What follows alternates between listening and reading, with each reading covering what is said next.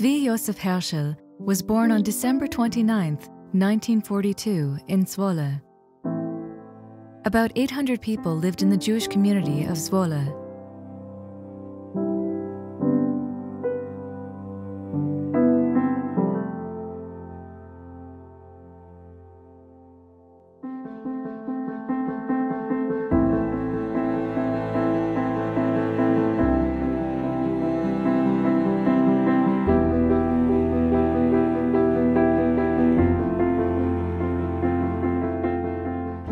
At dawn on May 10, 1940, Germany invaded the Netherlands.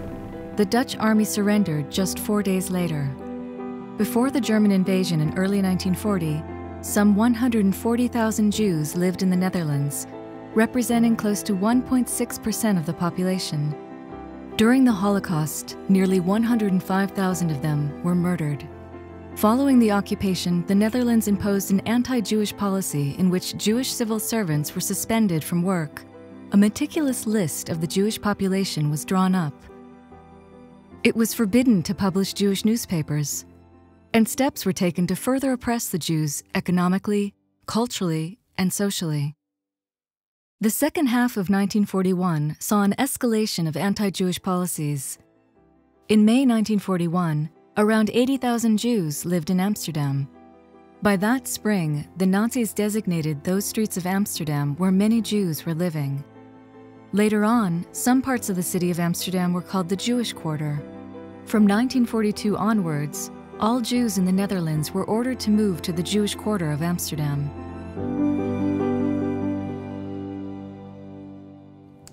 I was born in the darkest time of the, the war in Holland.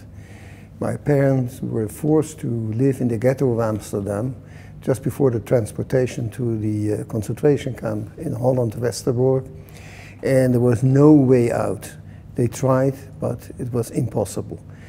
And my parents decided to entrust me to non-Jewish people, and my father contacted his Uh, the wife of his boss, Mrs. Schwenke, and she arrived in the, in the ghetto of Amsterdam together with a 17-year-old daughter.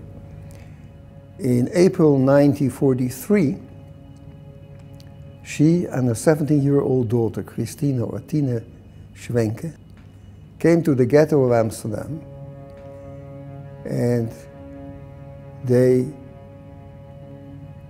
came to get me out of this terrible situation.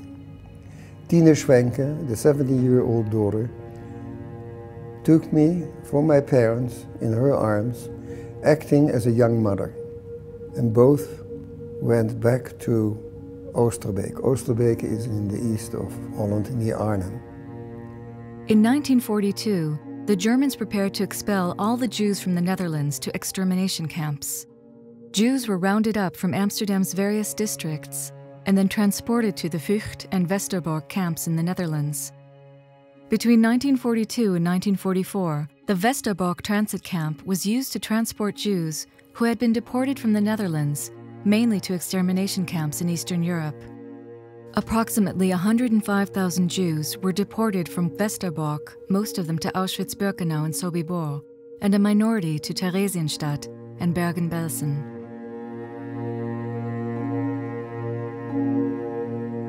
Nico and Ami Herschel. Tswi's parents were transported to the Dutch transit camp of Westerbork in June 1943. One month later, they were transported from Westerbork to the Sobibor death camp. His mother was 24, his father 27 years old, when they were murdered at Sobibor on July 23, 1943. Almost the entire family perished in the Holocaust. First of all, I will emphasize the enormous love my parents had for me to entrust me to non-Jewish people. I was the firstborn and I was almost, I was about four months old. I, you cannot imagine what it means for parents to give away your child. And especially not in a situation as it was at that time in the Second World War. So in their home, it was very dangerous because Mr. Schwenke was taken hostage with other 250 well-known uh, uh, Dutch politicians and other people. And Mrs. Schwenke realized that it was dangerous. So she went to the friend of her husband, Mr. Willem de Jong, who was the head of the resistance in Oosterbeek. He came immediately and he said, it's too dangerous, and he took the little boy, me, to his home. When I arrived in his home, the home of Mr. and Mr. de Jong, Mrs. de Jong, Martje de Jong said, this boy is not going to leave my house. And that's the way I stayed there for the whole uh, period of the Second World War. They had already five children of their own. And they had another Jewish teenager in hiding in the same house. The risk the people took for taking in Jews to put them in hiding was as high as to be a Jew in those days. And the fate of them was exactly the same. Not only for one person, but the whole family.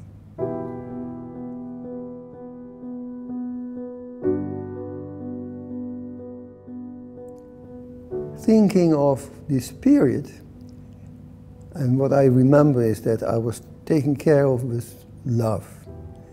I was taken in as their own child. Also, my siblings were my brothers and sisters. They were religious people. They were Protestant. We went to church. Even today, I know the prayers. And every day, the Bible, the Old Testament came after lunch on the table, and uh, there was always a, a, a, chapter, a story about what happens that day or this week about the, uh, the Bible. And I can remember that in September 1944, the gliders landed around our house. But soon after, they started to fight, and also in our street. So we went down into the cellar, into the basement of the house. And there we were waiting what was going on in front of the house. All of a sudden there was a big bang.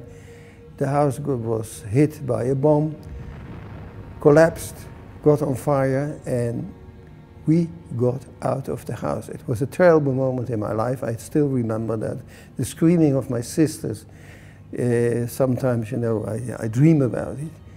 But uh, we got out unharmed. And for about two weeks, we were living from basement to basement, and then afterwards we uh, were evacuated to Spakenburg. Spakenburg is in the vicinity of Amsterdam. In May 1945, Holland was liberated, and I remember the Canadians in their jeeps coming up the street, and I was sitting on the shoulders of my father, and everyone was happy and singing and dancing in the streets with a lot of flags, Dutch flags.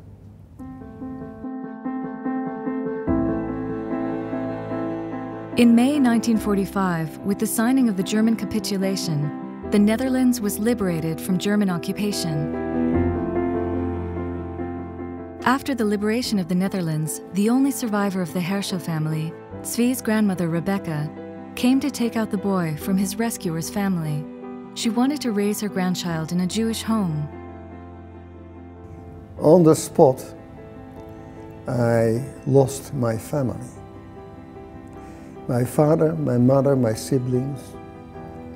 It was terrible. Not only that, when I came to Rotterdam, where she used to live, I had to change my name. My name was Henkie de Jong. I was a part of the, of the de Jong family. And all of a sudden, no, your name is Herman. I couldn't grab it. On top of it, I was forbidden to have contact with my family, with my parents, with my mother. And I had to pray in a different way, in a different language, which I didn't understand at all. And I had to eat kosher. My whole youth, till I was 18, was very difficult. I felt alone. Well, I had to teach myself. And I can say that I'm lucky that I found a way.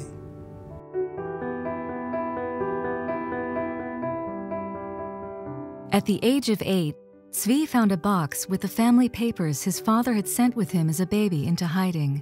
His grandmother had kept them all those years. Tswi started to reconstruct his tragic family story. He learned about his father's deep dedication to the land of Israel and developed the same attitude love for the land of Israel and the wish to live there as a free people. My parents were both Zionists, already in their, in their teens. My father wrote 10 diaries, and there's no page where, where I, he doesn't write anything about uh, Zionism as such. And his dream was that he is going to make Aliyah together with my mother. And unfortunately, it never came out. And it, it was remarkable that a straight, a straight line between his thoughts about living as a Jew in the diaspora and my thoughts as being a Zionist and wanted to live in, in Israel. I could have never expressed myself much better than after reading one of the uh, sentences of my father's diary. A people without a country doesn't have a future. And I'm happy that I followed actually the steps of my parents. As a teenager, Tswi joined the Jewish youth movement B'nai Akiva. Tswi married Annette in 1965.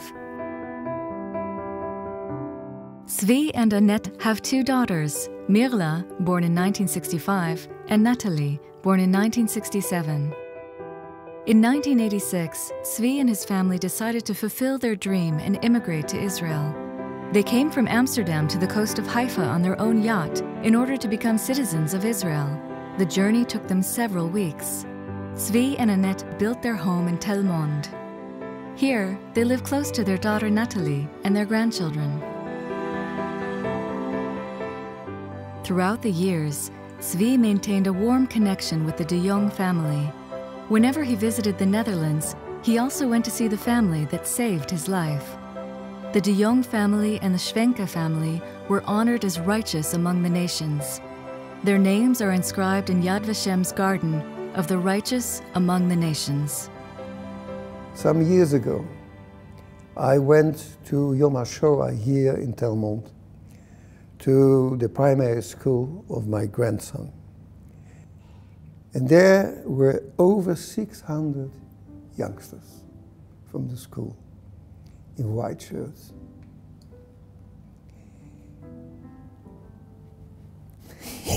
Today, now, it was so emotional.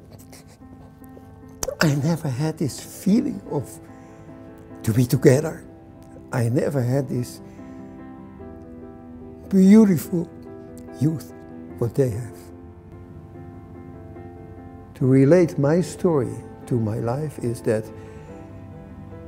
it's something unbelievable that my parents,